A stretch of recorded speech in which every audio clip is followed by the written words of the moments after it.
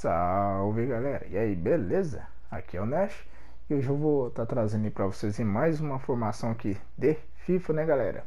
É, por eu jogar muito, bastante tal, Ultimate Team, né galera? Então eu vou conhecendo tática nova, instruções novas e hoje eu vou estar tá trazendo aqui para vocês aqui uma 4-3-2. Então galera, é, antes de estar tá passando aqui o conteúdo para vocês, eu quero estar tá pedindo aí para você que não é inscrito no canal que se inscreva, deixa o like e ativa o sininho. Então, bora lá! Começando aqui nessa formação, galera. Ela é uma formação que não tem segredo nenhum.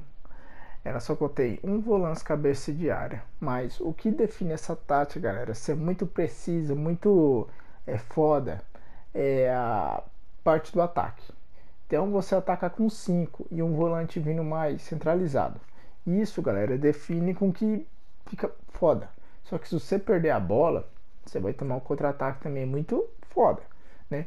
Então, quando você vai, você vai e tem que fazer o gol, porque essa, tática, essa tática ela manda o time para frente, ainda mais na amplitude, é, profundidade que eu estou usando, ela manda o time para frente mesmo.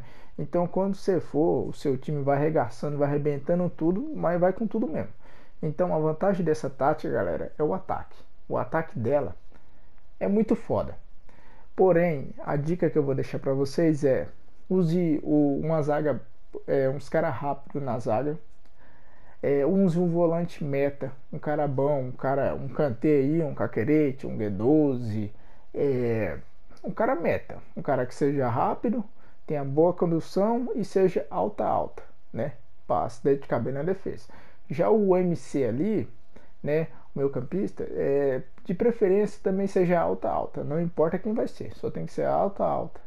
Então, quando é, o time adversário ataca para riba de você e você sai, é como é que vai dizer, como é que que você sai é para riba do cara, então o seu time vai para frente e eles vão se movimentar bem, vão aparecer para receber a bola. Então essa tática tem sua vantagem e sua desvantagem.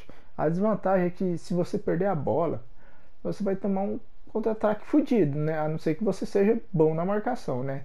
Então, mas se você usar as cartas certas nessa tática, você vai conseguir jogar nela. Porque o ataque dessa tática, galera, é muito foda. Eu joguei aí um bom tempo nela, apesar de eu estar jogando em outra tática agora, que em breve eu vou estar trazendo para vocês também. Mas é, ela rendeu para mim, rendeu muito bem o ataque, também a defesa, né, por ser um, um volante meta ali, né. Então, eu vou estar trazendo para vocês aqui, galera, a, alterações que eu fiz nessa tática, né. Essa tática, galera, é, vocês não vão usar instrução nenhuma. Nenhuma. A única coisa que você vai fazer por amplitude 80, galera, porque quando você abre o seu time, ainda mais essa tática que tem um volante cabeça de área, quando você põe amplitude para abrir no estilo defensivo, então os laterais eles ficam muito mais nas pontas, cobrindo exatamente a lateral os zagueiros eles vão abrir um pouco a mais. Só que o que vai acontecer? Esse volante cabeça de área vai infiltrar naquele espaço que vai ficar na zaga. E já o MC, o meu campista, ele recua tipo fazendo papel de volante. Então, use 80. Pode usar até 100, né? Até 100. Eu uso entre 80 e 100. Depende do seu volante, certo? Profundidade. Pode usar 100. É, que nem ali diz ali, né, na na, na, própria tática ali, que ajustar a formação defensiva do seu time para ficar avançado e ajudar a colocar pressão, blá, blá, blá, blá, blá, blá, blá, isso vai ficar avançado e vulnerável. Nada a ver. Isso aí não tem nada a ver, galera. Nada a ver. Você pode usar essa profundidade em qualquer tática. O que, que essa profundidade vai fazer? Entre 71 e 100. Ela vai botar muita pressão no seu time adversário o seu time, é, no caso, quando seu oponente estiver vindo atacando para riba de você, o seu time vai estar tá sempre em cima dele, sempre afobando ele, por quê? Porque eles vão estar tá bem adiantados, bem avançados. Então eles vão estar tá retardando toda a jogada. Agora quando você põe uma profundidade, que você joga o seu time lá para trás, é, o time do cara sai atacando e vai empurrando, empurrando, e sua zaga vai recuando, recuando, e o cara chega na cara do gol. Né? Então isso é um saco. Então use 100. Chegada aqui, vamos estar tá usando armação rápida. Criações de oportunidade, vamos estar tá usando equilibrado. A amplitude aqui, vamos estar tá usando é, 100. sem, porque essa parte do ataque, né, como você vai atacar praticamente com seis aí, fora os laterais, né, os laterais também participam, você vai atacar com seis, então pode deixar bem aberto.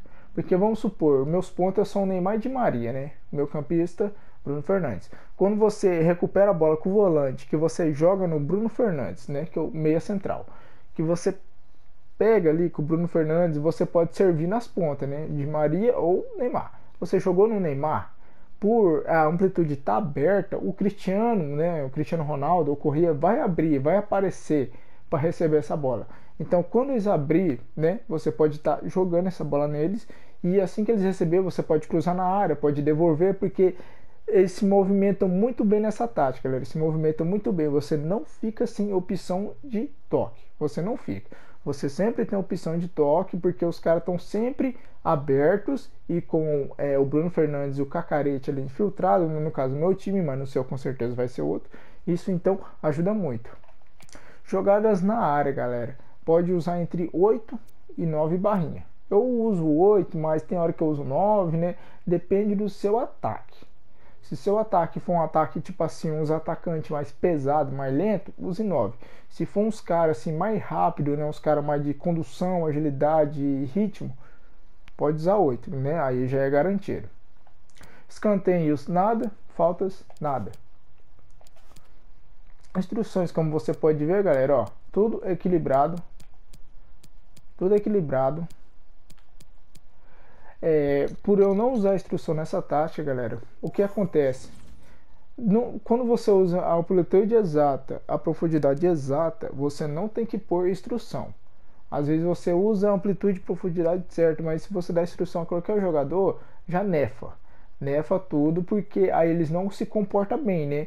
Então só põe a profundidade e amplitude na, é, na medida exata, como está no vídeo, e vai começar a render, galera. Vai começar a render para você que tem dificuldade de marcação, como eu, ou sei lá, talvez está tentando achar uma tática aí para adaptar seu time, ó.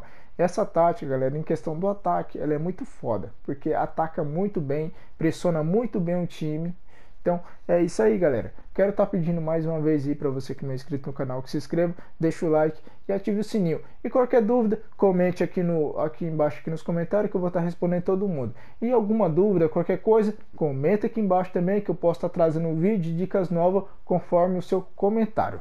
Valeu, galera. Tchau, tchau. É nós.